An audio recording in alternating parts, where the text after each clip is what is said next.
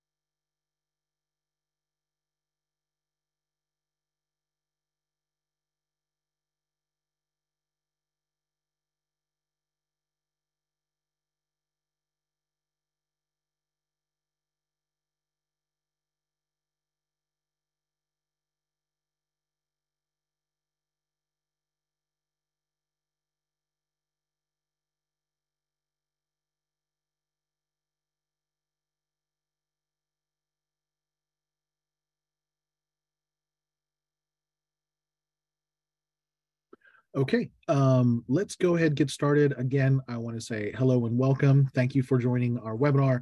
My name, again, is Cooley. I am the Targeted Outreach Director for the Department of Financial Protection and Innovation. I do want to introduce uh, one of my panelists. Um, her name is Selena Damian. She is the DFPI's Student Loan Servicing Ombudsperson. Selena? Thank you, Koo.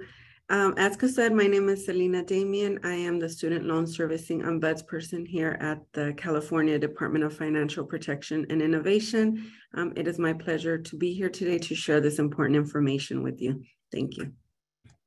Thank you, Selena. All right, let's go ahead and jump in. A lot of really great, important information. Um, first of all, a little bit of housekeeping. Uh, this webinar is being recorded and your microphones and video and chat has been disabled. Uh, but if you do have any questions, please feel free to submit them into the Zoom's Q&A feature. We will be answering, I have a team of uh, specialists who will be answering your questions as we go along. We also will be dedicating about 15 minutes at the end of the webinar to answer uh, as many questions as we can. Um, also, uh, this webinar, as it's being recorded, we will send out an email, um, a link to the, the recording and uh, a copy of the slides to everyone who registered for the email. So look out for that coming later today. Uh, finally, um, you know, the student loan world is constantly changing. Um, as of right now, all the information presented in this webinar is accurate. Things may change later on, but right now, what we are presenting right now is the most accurate information. Okay, let's go ahead and get jump uh, jump right into it. Selena, do you want to talk about the DFP? Yeah. Yeah, sure. Um, so just a little bit of, about who we are. Uh, DFPI is California's Consumer Protection Agency.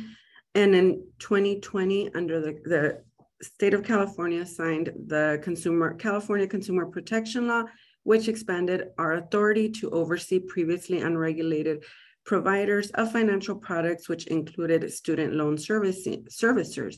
So now we have the authority to license and examine companies of financial these financial products.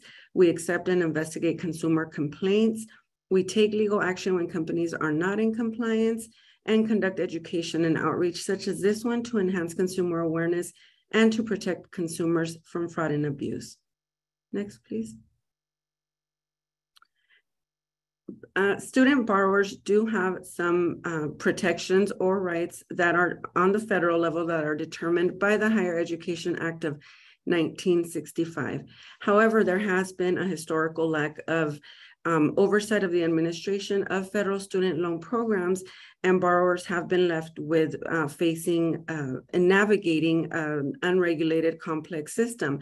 Therefore, in uh, the year in 2019, California introduced the California Student Borrower Bill of Rights, was introduced as Assembly Bill 376, and it is a protection that is only available here in California, and it applies to student loan servicers doing business in California, including state licensed servicers, as well as banks doing servicing. It applies to borrowers with both federal and private loans. And as I said, California is only one of 13 states that has such established advanced legislation to protect borrowers.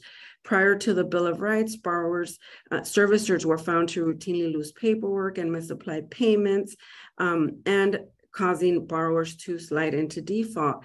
Um, what this bill does, what this protection does, is it prohibits servicers from engaging in abusive, unfair, or deceptive practices. And it requires that servicers work in the best interest of borrowers and that they provide accurate information to avoid delinquency and default.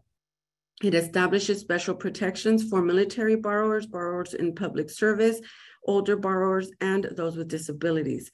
It also established my position, the ombudsperson position, um, and one of my most important duties is to work directly with student borrowers and help them understand their options and their rights.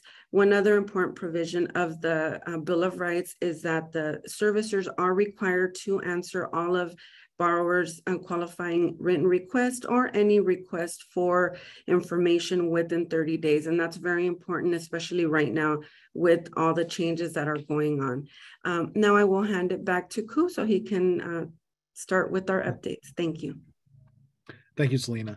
Um, okay, so I'm to say some of you might be busy and you can only watch a couple minutes of the webinar. Listen, key takeaway from this webinar the student debt relief application is available and you want to apply today or as soon as you can.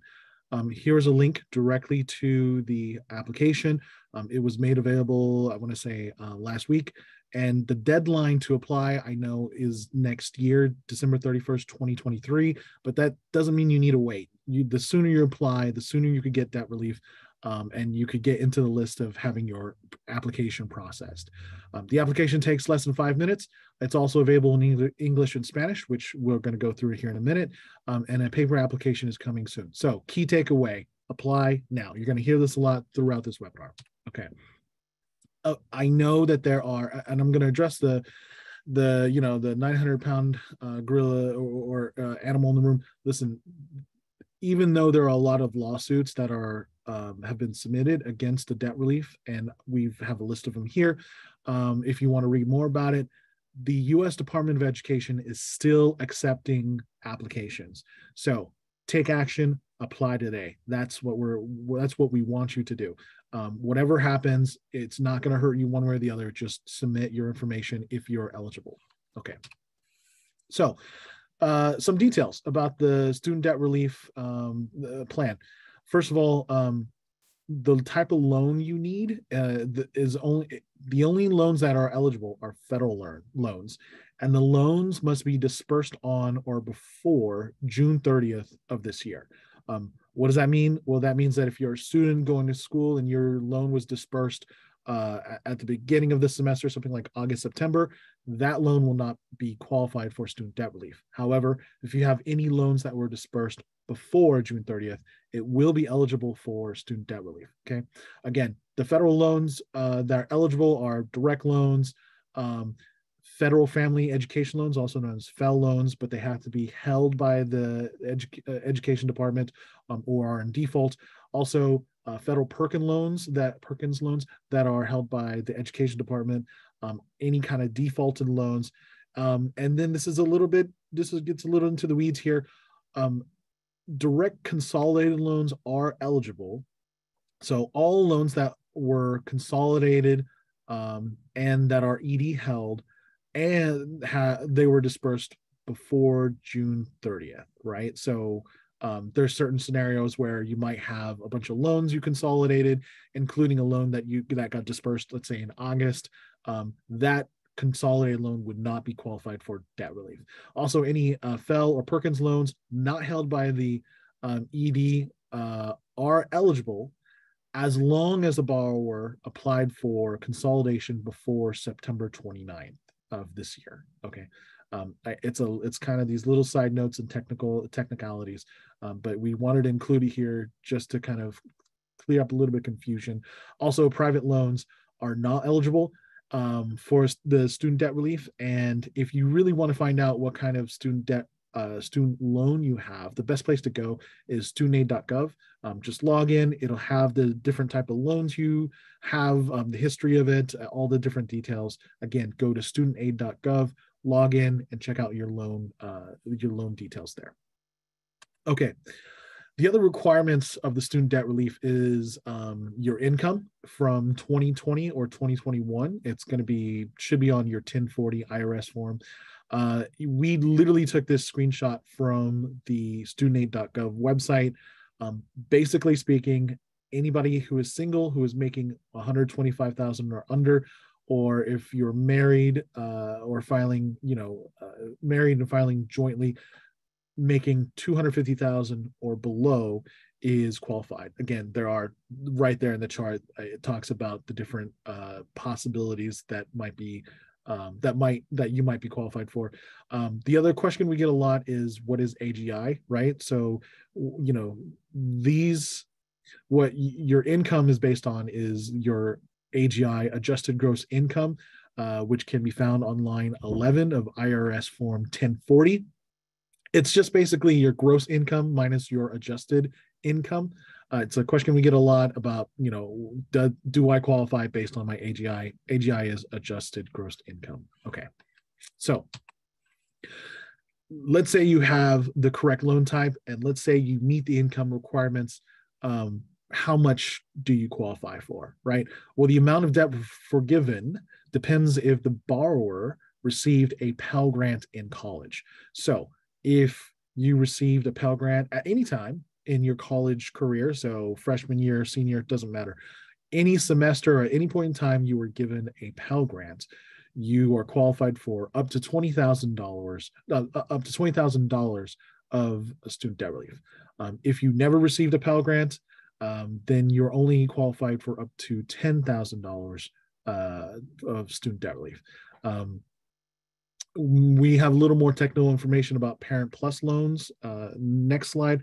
But i do want to say that if you and we get a lot of questions about this um, if you have less than let's say $10000 in debt um, you know can you get extra money from this? You can't no.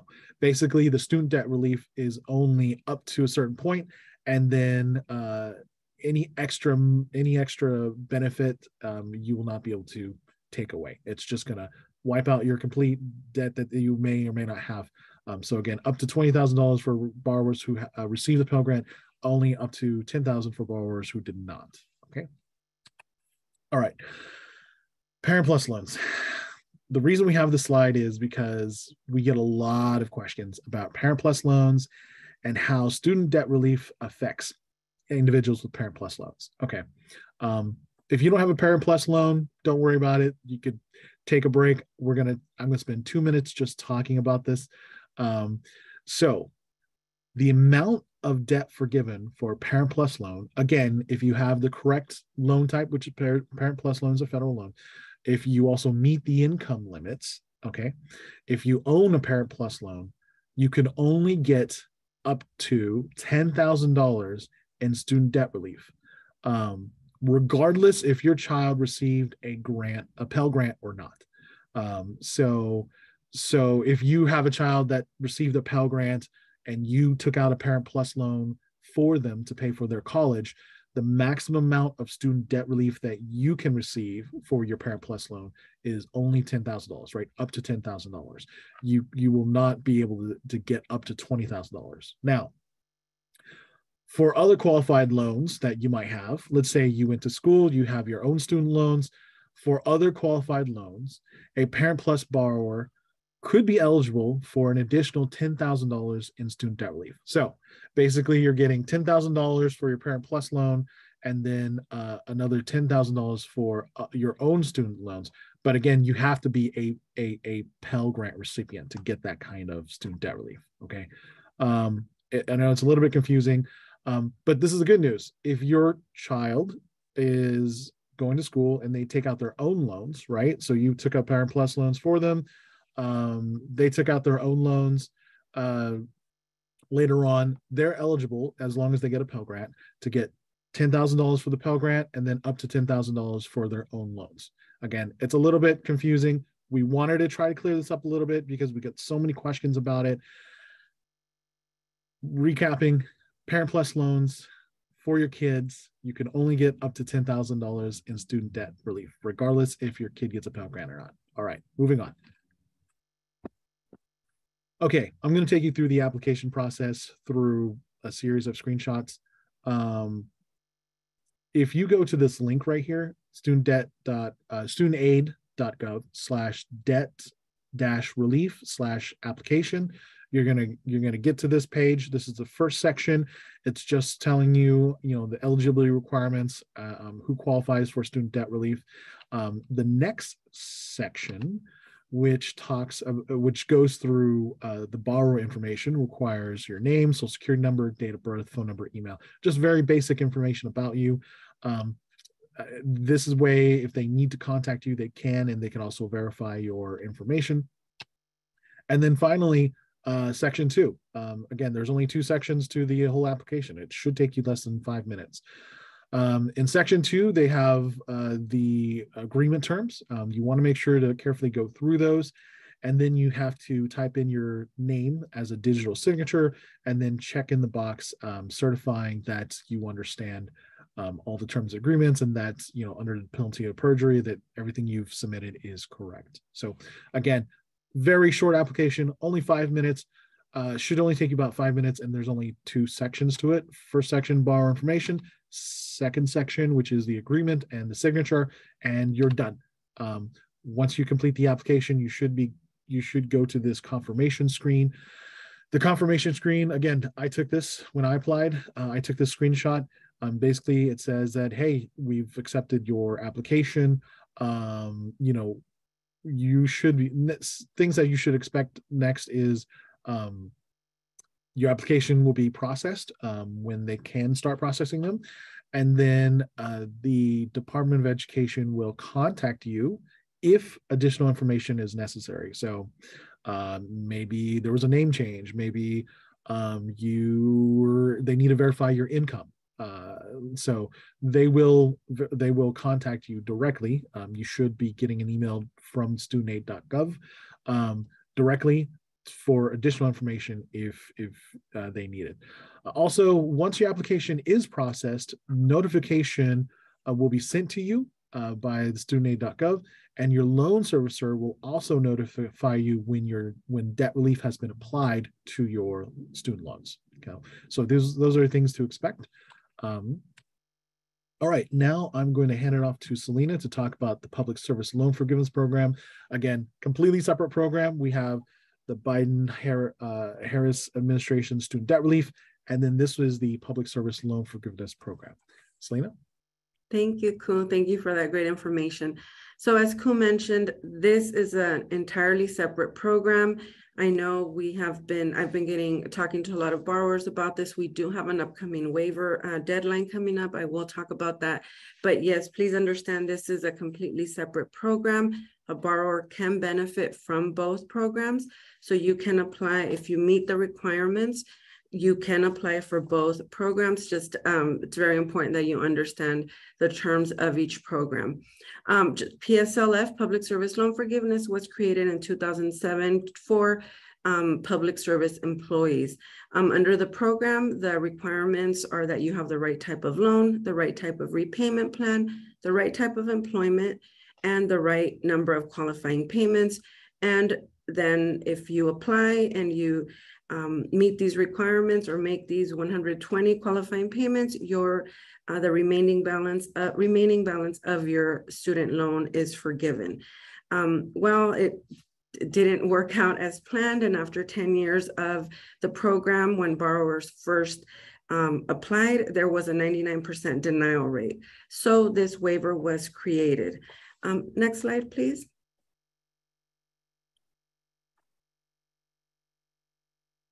So last year, October, October of last year, the Department of Education created this waiver to try to remedy some of the failures of the program. And it had to do with basically um, servicers not providing the right information to borrowers, not putting them on the correct payment plans, not advising them correctly as far as what loans were eligible, not applying payments correctly, and borrowers were not able to meet the requirements. So what this waiver does is that it it can it suspends most of the PSLF qualifying payment rules through October 31st.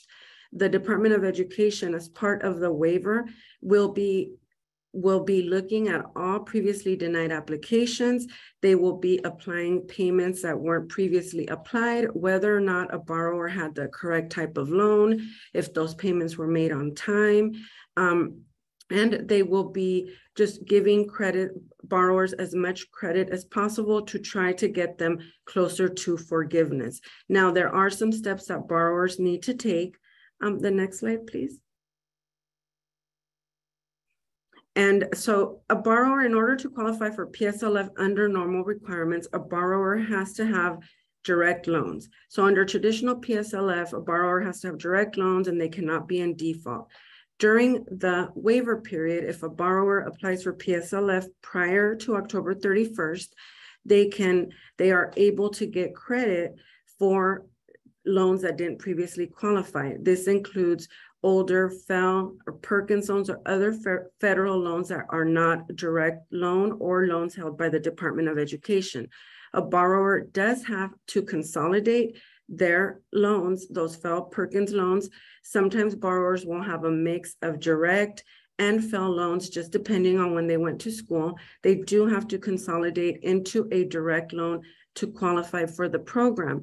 Under the waiver, when a borrower does that and they apply, then the Department of Education will credit them for previous payments made on those loans, any payments made after 2007.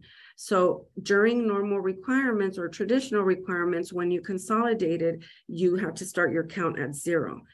This, this is different with the waiver, and this is where borrowers are getting the, the most benefit.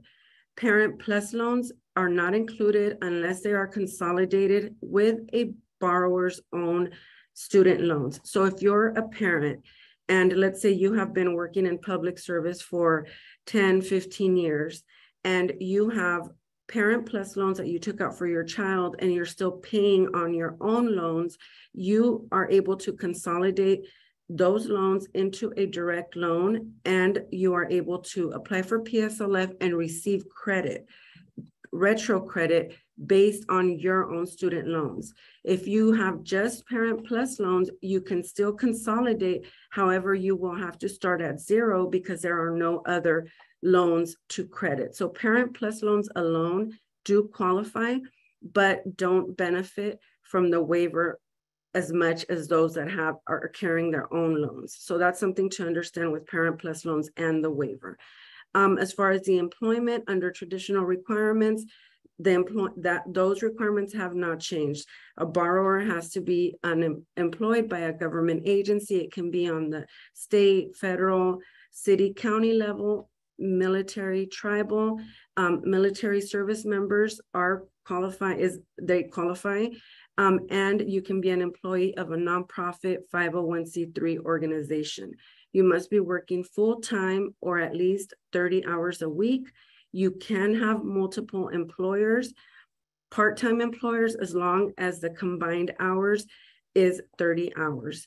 Um, again, the employment after 2007 is what they're looking at. Then the qualifying payments under normal requirements, you have to have payments paid they they had to be on time, they had to be paid in full, and they you could not make any payments ahead of time.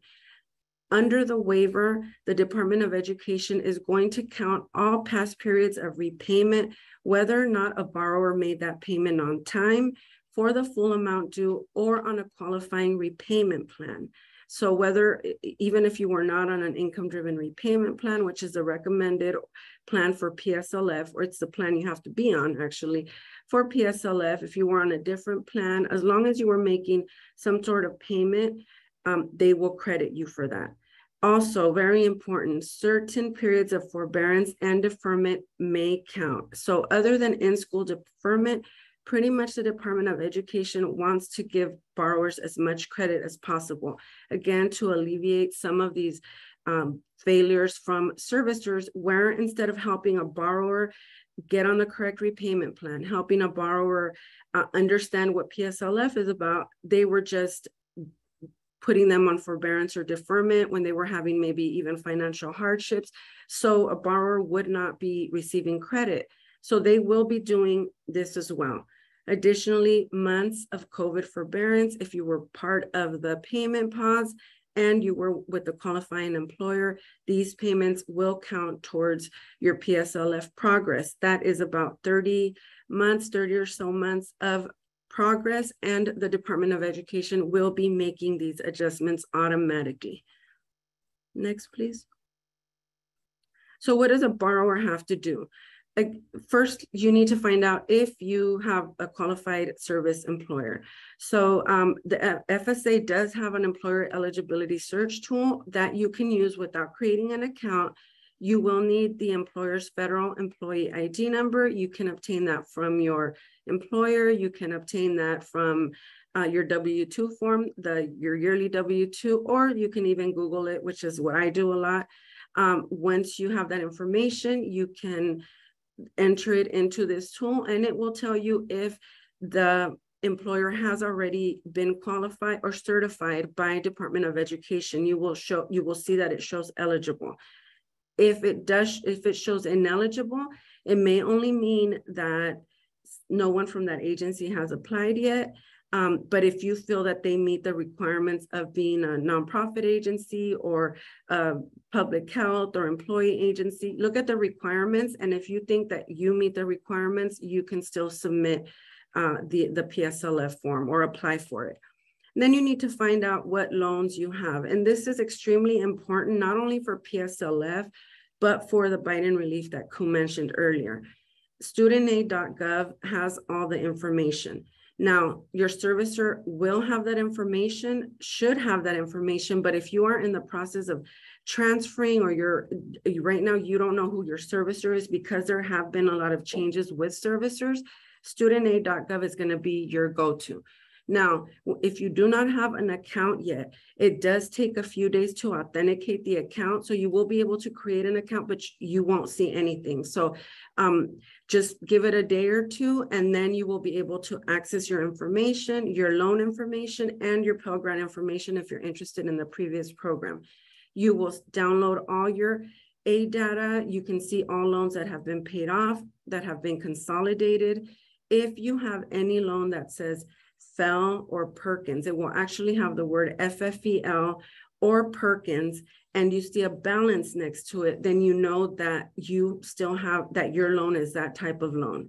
Okay. Another way of confirming is if you were part of the COVID repayment pause, if you didn't have to make any payments, you know you have a direct loan, which is the qualifying loan. If you had to continue making payments, and you have what and your account is in studentaid.gov, then you have one of these FFEL or Perkins loans. Okay, so that's also a way of verifying, but just download your data. You can see it there. It's very clear. Once you de determine, you find out what you have and you determine what steps you need to take. If you have those non-direct loans, then you want you you will need to consolidate. The consolidation again will be on studentaid.gov that will take you about 30 minutes to complete. You're only completing the application. The entire process will take at least a month at this point for you to get a confirmation. So what happens when you consolidate, your loans are all put into one loan. You're going to have a new balance, a new interest rate. And during the consolidation process, it will ask you if you are, are doing it or applying for PSLF. It will then ask you to pick an IDR plan, an income driven repayment plan. There are four types of IDR plans, which it will let you select depending on your um, on your account. So right there, it will have you select if you're doing this for PSLF, and then it will give you the options. Then once you do that, the loan will get transferred to a new servicer. So those loans are going to MOHELA, who is the PSLF servicer. You will finish that process. You will receive a confirmation that, com that consolidation was completed or was done. And then you will wait for an answer on that. Again, as, as long as you complete that prior to the 31st, you count, you will benefit under the waiver. If you do not need to consolidate because you've already checked your loans and you know that you have all direct loans, you're good, then you just go ahead and you, you use the PSLF help tool. Again, it's on studentaid.gov. And the only thing you will need to do there is generate your application. So you will need that FEIN number to start the application there. Um, Ku, can you go on to the next one, please? Now, this is what the application looks like. And when you submit your information or you're logged on to studentaid.gov, some of this information will be auto-filled. You can check the box, you can say whether you just want to find out where you are or you think you qualify. Regardless, Department of Education is going to check them all the same. Then you go ahead, um, the employer's name and address will be automatically filled in. Those FEIN numbers are very important. So make sure that you enter those correctly and using the tool will help avoid any errors um, you will have to, you will be able to download and print this application. Now, the deadline is October 31st. You will have to, if you use the help tool prior to October 31st to create or generate this application, you will benefit under the waiver. So there is no need to rush this next week and try to get your employer to sign it. If you use the help tool, Department of Education has said they will have a record of that and it should be on your studentaid.gov account anyway. And as long as you print it, download it, print it, and you go ahead and then work on getting it signed by your employer, you should be okay. It's the same with consolidation. As long as both of these actions are taken by October 31st, you will benefit under the waiver. For signatures, the Department of Education is requiring a drawn or wet signature. That means that either you download it and print it and you have your employer actually sign it and scan it, or they have to use, they can use like a digital tool where they use either a, a pad or a pen, but it does have to be drawn. So what they are not accepting are those digital signatures that already come with the font and things like that. So their wet signature, a drawn signature, that's what they're requiring. Um, who signs the form? An authorized official signs the form. So their definition is a qualifying employer who has access to the borrower's employment or service record and is authorized to certify the employment. So this can be someone in HR, personnel, uh, your personnel analyst, specialist, um, even your manager, if they have access to your records, they will need to sign the, form make sure that the dates are legible, that they're clear, and that you have the date, month, the month and date as as close as possible. You do don't want to have any delays or denials based on that. If you are not able to get a hold of your employer, as long you as long as you generate the tool it will not let you download or print the form if it says uh, they can't find the employer but as long as you start the application by the 31st and they will instruct you on what to do if you decide you want to mail the form because you just don't do well like me sometimes with the website it is recommended to use a help tool but you can download the you can download the actual form and as long as it's dated by your employer prior to October 31st, it will be counted under the waiver. Again, your best bet would be to use the help tool. But if you cannot do that, get it signed. Make sure you keep copies of all your documents, what you're mailing in. Page four, I believe, has the instructions on where to mail it. This, just like the consolidation, will be transferred to MOHELA, the PSLF servicer. If you do not have a MOHELA account and you're not a um, you're not with them yet. So let's say you consolidate today and then you do the help tool right away and you say, oh, I'm with MOHELA now. No, it's going to take them time for them to get your account. So what you need to do is you will need to mail, it says mail or fax the form. I would do both. again, make sure you keep a record of when it was mailed out just to be safe. Um, but the signatures do not have to be received by October 31st as long as you use the help tool. Um, a time frame on these. If you, let's say you start the process today and you just are just doing the PSLF help tool process, typically it takes about maybe a month for you to receive a um, confirmation, maybe four months on a without the waiver for you to get a final count. Right now it, it's going to take a lot longer. So like i said just document everything. Make sure you use a help tool. There are a lot of things going on at the same time. I understand there's a lot of frustration when people do not hear back from MOHELA from uh, studentaid.gov and they're calling everyone trying to get a confirmation of whether or not they received it the only one that can confirm really is you. You're going to be able to confirm that you used the tool, that you mailed it, and that you faxed it. They are receiving these last minute rush of applicants, um, both for consolidation and for the application. So it is going to require a lot of patience. Um, I know that there's a lot of questions, but they will be doing these counts automatically. If you have already applied, let's say, and you receive a letter saying that you only have five qualifying payments from MOHELA. This is MOHELA telling you they have five qualifying payments. Those are auto-generated when MOHELA gets all, receives all your information. At first, all they have is what they the information from the time you consolidated forward. The ones that have all your previous information for those pre-consolidation, those FFEL-Perkins loans, Department of Education is the one that has that information. So MOHELA has to wait until Department of Education provides that information. They have to talk to each other to update the count.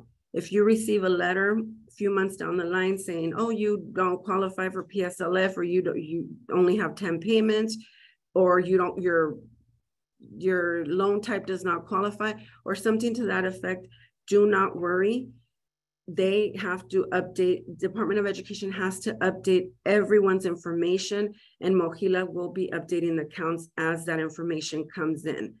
Um, again there's going to be they're going to be counting those forbearance deferment months they're going to be counting covid months and all those will be done automatically um, if you have multiple employers let's say and you can just generate at least one just generate one of the applications download it, print it, and then you can work on submitting the multiple uh, certifications as needed. So as long as you're in the PSLF help tool system, then you will qualify.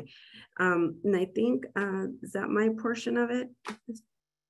Yeah, now I'll hand it over to Ku. Thank you, Selena. Um, yes, a lot of great information about the public service loan forgiveness waiver and program. Um, next up, I, I do want to stress this. This is incredibly important.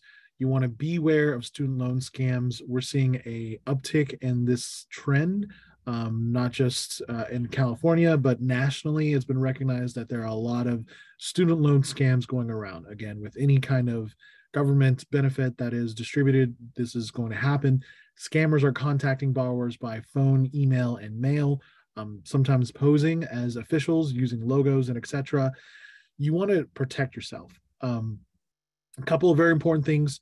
There is nothing a company can do for you that you can't do on your own for free.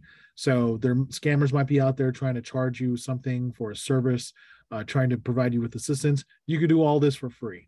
Um, a lot of the information is available at studentaid.gov. You could go there, do your own research, and actually do everything you need to loan consolidation, um, you know, starting the application process. You could do it all for yourself for free. Also, loan servicers and the federal government do not call borrowers. Okay, they don't call you. Um, so if someone calls you trying to, uh, you know, they're they're they're pretending to be a loan your loan servicer or the federal government um, you should probably hang up and uh, check with your own loan, right? Go to studentaid.gov, look at your own information. Um, you can also uh, contact the student uh, U.S. Department of Education um, if you were interested about any kind of information there. Um, also, you should never give out your login information, passwords, or even personal information. Uh, especially if someone on the phone is asking for it. Um, don't subscribe to any kind of monthly service who is trying to offer you student loan assistance. Um, and finally, if you feel like you've been a victim of fraud or a scam, you could always submit a complaint to us, the California Department of Financial Protection. Uh, we have a link right there for you. It's dfpi.ca.gov slash file dash a dash complaint. Um, it's a it's an easy application. Just go in, c- complete the information, give us the details. Um, again, if you feel like you've been a victim of fraud, you can always submit a complaint to the DFPI. Okay. With that, um, I would like to introduce uh, the DFPI's Senior Deputy Commissioner of Consumer Financial Protection, uh, Suzanne Martindale. She's been answering a lot of your questions that you've submitted through uh, Zoom's Q&A feature. Again, you can continue to submit those questions. She's going to answer some of the most common ones that we get. Um, Suzanne? Thanks, Ku, and good afternoon, everyone. And thank you for uh, for your participation and for submitting questions. You know, we're doing the best that we can to provide you accurate information, but with the caveat that for some of you that have your own specific individual circumstances, you know, we may not have sufficient information to give you a definitive answer about, you know, everything regarding your eligibility for different benefits. Um, and, you know, we understand this is legitimately confusing. Um, and there's only so much we can cover in one hour. I mean, look how, you know, how, how much time we've already taken up and it feels like we're barely scratching the surface because everything is so confusing right now with student loans. So uh, I'm going to ask um, put up a couple questions to Selena, but I also want to, you know, emphasize that there's a lot going on right now. There are multiple efforts at the federal government to clean up the student loan mess in multiple ways. And as a result, a lot of people are filing paperwork, they're asking questions. It's just a flood right now. So if you're having trouble getting a straight answer, even getting on through on the phone to your loan servicer, we hear you. We know it's a problem. The Department of Education knows it's a problem as well. So, unfortunately, you know, it, it can feel like we're, we're telling you to hurry, hurry, hurry, get your paperwork in. But in some cases, you may be kind of hurrying up to get things in and then waiting. Uh, and that may feel frustrating. Uh, it's normal, unfortunately. So it's normal, but just be prepared for that. Um, so, what I do want to uh, make sure that we're going over one more time is the importance of the deadline on Monday for the PSLF waiver and who needs to worry about that. And so i see a question from uh, from chris here about do you, you know do you need to be on an idr plan an income driven repayment plan to qualify for pslf um, to what extent does the 1031 deadline matter to someone who maybe for example did a couple of years in public service but wasn't in the right repayment plan? Can they take advantage of the waivers um, selena uh, yeah, so yes, they can, they can. So IDR plan is um, different than the loan, the actual loan, which is more important. That's what's going to really determine what action a borrower needs to take. A, a repayment plan, as long as you were in any repayment, uh, sort of repayment, if you apply for PSLF prior to 10 to October 31st, Department of Education will be credit crediting that. So what this borrower really needs to find out is what type of loan they had. That's going to be most important. So yes, an IDR plan is the PSLF plan, but they want to know whether or not they had direct or FFEL per or Perkins loans, and that's going to determine really the the rush and if they need to consolidate before October 31st, which is the important um, the important thing to do. Great, thank you. And so I think we should also talk a little bit about what's going to happen after October 31st. Uh, so the waiver, which again kind of is sort of ignoring most of the usual nitpicky rules you have to follow to get credit for your periods in public service, that is ending on October 31st. However, the public service loan program still exists. And actually, yesterday morning, the Department of Education announced that they're going to be doing some account adjustments to people in this category next year. They're going to do a one time audit of everybody who has been trying to get public service loan forgiveness, and they may also be giving people some additional credits toward PSLF. Uh, but so Selena, just want to let people know what should they expect, you know, after October 31. Um, is there anything else that they should be trying to do after October 31 if they're trying to get public service loan forgiveness? So if they've already applied, then really the only thing they would do would continue certifying their employment if they're still in public service and they haven't met the 120 months. Um, continue certifying um, submitting those ECF forms, which is the same, though, just for everyone's information, the waiver application, the PSLF application, the one I showed, it's the same one. It's not going to change. So you will be using the same one. Um, and Department of Education will be conducting automatic adjustments. So the only people really that need to take any sort of action or worry or, or just take any type of action, not even worry, are those people with those FFEL Perkins loans because um, the program will continue. So if you haven't been in public service for the entirety of the 10 years, um, you're maybe at six or seven, then if, with some periods of forbearance, deferment in there, the Department of Education will automatically be doing those adjustments and giving everyone credit as much as possible. So as I said, they will probably, borrowers, they're just starting the process, may not really get a final count until early next year um, just because of how everything is going. That's why it's just important to at least generate one application on the help tool. No need to um, rush to try to get these signatures in by, by Friday. They are really, um, just this recent announcement is just going to do great things for the program and give borrowers additional credit. So continue to certifying and um, just staying in touch on studentaid.gov and with us. Great, thank you. And I've seen, obviously, there, there are always questions about loan consolidation. You know, do I need to care about it? Should I do it? Shouldn't I do it? Should I consolidate my loan? By itself, which you can do. You can consolidate a loan with itself. You don't actually have to consolidate it with a different loan. The point is just to convert it into a direct loan that then gets eligible for more benefits. That's really what we mean when we say consolidate. You could almost say convert the loan. Uh, but also, there are some questions. Uh, and, and again, your individual circumstance is going to be important in order so we don't there's no one size fits all answer to the question should i consolidate?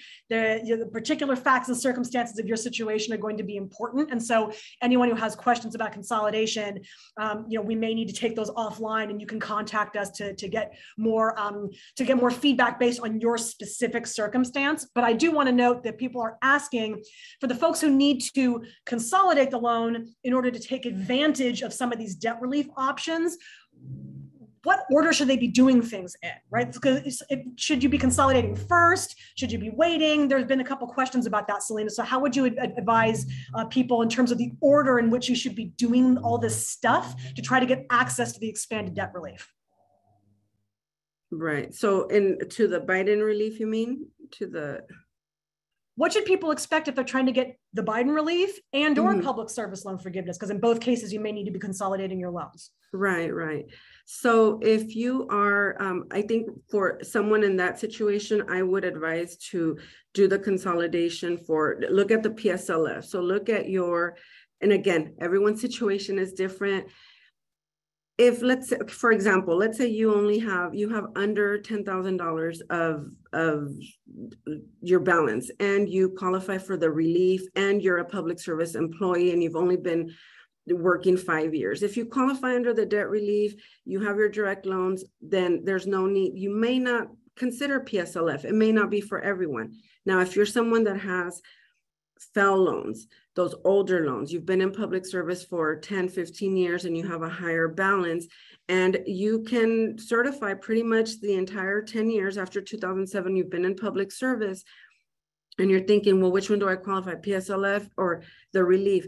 If you need, if you have FFEL loans still and you need to consolidate, then you're able to do so prior to uh, October on October 31st or before, but preferably pr- prior to. Um, but be aware that if you do consolidate right now into those FFEL loans into direct loans, you will lose eligibility for the Biden relief, the 10 or 20,000. Now, every situation's um, every borrower situation is different. If you have a very high amount, and you will lose out on the 10 or 20,000, but you're well on your way in PSLF, it might be something worth considering. Um, some borrowers say, borrowers say it's a hassle to get the signature. If you have a very high loan and you've already put in your time and you do have to take this step to consolidate and to just get start the PSLF help to and create the application there, you can do that within a day. Yes, you will lose eligibility for the Biden relief, but that wouldn't cover your loans anyway. So it really is something that you need to look at almost strategically.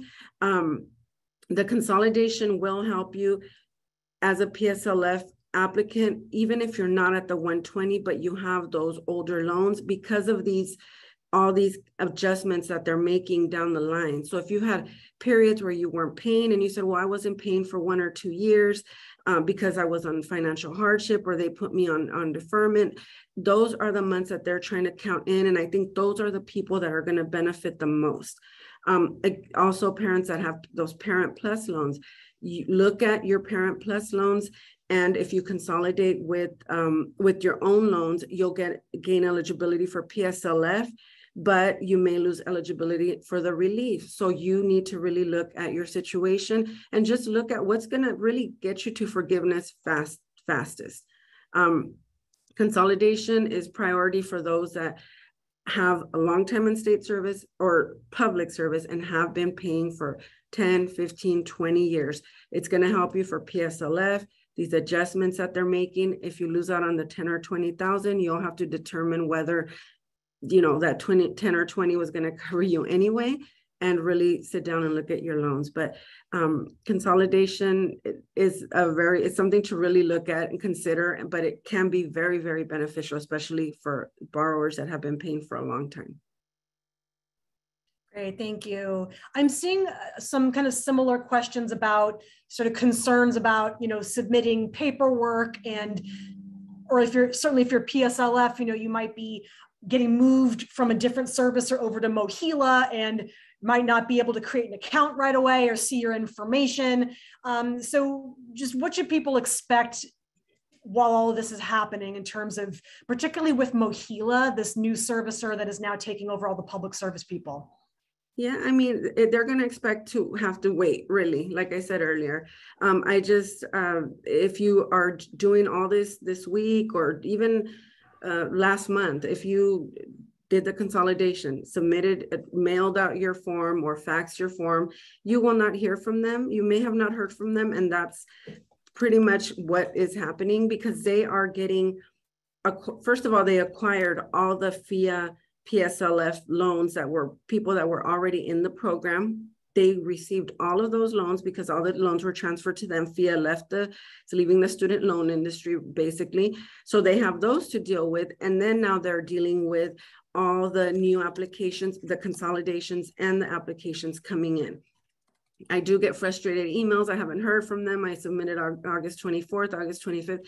That's typical really even during normal PSLF uh, procedures that's why I said make sure you're using the tool because that's going to be a, an official record of you applying for both consolidation and the studentaid.gov and the and the PSLF, the actual some generating the application. If you're mailing or faxing them, just make sure you keep those documents. Um, let's say four, five, six months down the line, which is the expected really time to get an answer, and they say we didn't receive anything, then at that point you have a problem right now, if you're not hearing from them, it's it's really what's happening. And as Suzanne, as you said, the Department of Education is aware of it. MOHELA is aware of it. I mean, they they know the frustration. So just be patient. I think is is um, what I can tell borrowers. DFPI does not have. I don't have access to borrowers' actual information. I don't have a backway access to MOHELA's account, so I can't give you any updates. Really, um, just be patient please. Yes, uh, that is unfortunately what we're having to tell people because they're just everyone is slammed. Um, so I saw that there was uh, one person who was wanted to double check. So the PSLF program, including the waiver, that is separate and distinct from the larger Biden Harris debt relief. So there are people who may be eligible for both right? And so, uh,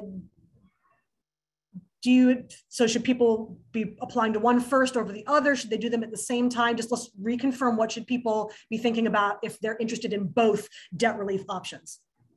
Yeah so if you have let's say all direct loans and you know you qualify for both then you can apply for both. Um, the you can apply for both. If you you can actually get the only thing that the debt relief will do will be lower your balance and change your payment amount when you if you start once you start repayment. Um, and actually the debt relief would probably be applied faster. So the only thing it won't preclude you from uh, it won't uh, disqualify you from PSLF. So if you have like all direct loans right now and you're in public service, you can actually qualify for both. The debt relief application is simple. As Ku said, it takes less than five minutes. You could apply for that and then continue on with PSLF, continue certifying. It it's not going to disqualify you. So they're not going to look at the debt re- at the if you receive 10 or 20 and say, oh, this person no longer qualifies for PSLF. They will still, you will still continue. The only thing would be for, again, those borrowers that have to consolidate. There's a little bit more things to consider, but if, but a borrower can benefit from both. And I think one thing to say is the limit on the relief is a 10 or 20,000. PSLF does not have a, a limit for forgiveness. So it's the remaining balance. So if you have 10, 20, whatever it is, that's the difference in the in the amounts. Thanks, Selena. Thank you, Suzanne, for um, moderating the Q&A. I know we had a lot of fantastic questions, still getting them. Uh, so feel free to continue to submit them in. We're going to answer them as we go. We do have a couple of final slides to go over. Um, so some very important student loan reminders. Again, I know we've talked about this a lot. The student loan forgiveness waiver deadline is Monday, October 31st. Um, the student loan forgive the public sorry the public service loan forgiveness waiver deadline is October 31st. The public service loan forgiveness program will continue on. So even if you don't have 120 payments, maybe you only have three payments, or uh, maybe you only have two years of uh, public service um, underneath you. You could still apply for the waiver um, and get into the program. Uh, now, the other thing is new changes, as Suzanne has said, new changes are coming. Um, you want to stay up to date about the public service loan forgiveness program. It'll tr- what they're trying to do is get more people qualified for public service loan forgiveness. So stay stay tuned for that. Um, also, student loan repayments start back up in January. So um, the pay- repayment pause ends December 31st payments uh, for student loans will start back in January. You want to make sure you update your contact with your student loan servicer and also studentaid.gov so that they can contact you about your new student loan, especially if you apply for student debt relief. Um, obviously, your student loan amount will change and your payment may change as well. So again, update your your your contact information um, when you can. If you have loans that are in default, um, you want to be very aware of the Fresh Start program. I believe they're going to be starting that up uh, early next year. So we have a link there um, that you can click on and read more about it. And finally, please subscribe to the DFPI's newsletter. We have a monthly newsletter where we uh, include updates about not just student loans, but things that are happening around, especially California. We also have, um, you know, links to our and information about our upcoming webinars and events. Um, and any other consumer alerts that we send out. So please uh, consider subscribing to our newsletter. Finally, uh, we put this slide together. It's got a lot of great information, resources for you for more information. First of all, this first link here is a web page to the DFPI's student borrower uh, resources. Um, it's dfpi.ca.gov slash back on track. Again, the website has um, a bunch of different links to upcoming webinars that we have going on, a lot of different resources, as well as a list of government, uh, nonprofit, and uh, student aid groups that provide assistance to student borrowers. So please check out the website, um, get more information, help yourselves. We also publish all of our webinars on our on our YouTube channel. There's a link to it. And um, I'm not going to get too much into it, but again, these are all the links we share for individuals who email us who have questions. It's great. It's a great place to get started on your student debt uh, assistance journey. And finally, Selena Damian, uh, the DFPI student loan ombudsperson. Here is her email address. Please feel free to contact her if you have more questions or need help. Um, and finally, I want to say thank you. Thank you for taking time to watch our webinar. Thank you to our panelists, Delina, uh, uh, Selena Damian and uh, Suzanne Martindale, who helped answer questions, and my staff members. Thank you for joining us for the webinar. And please take care of yourselves. Um, take care of each other. Goodbye.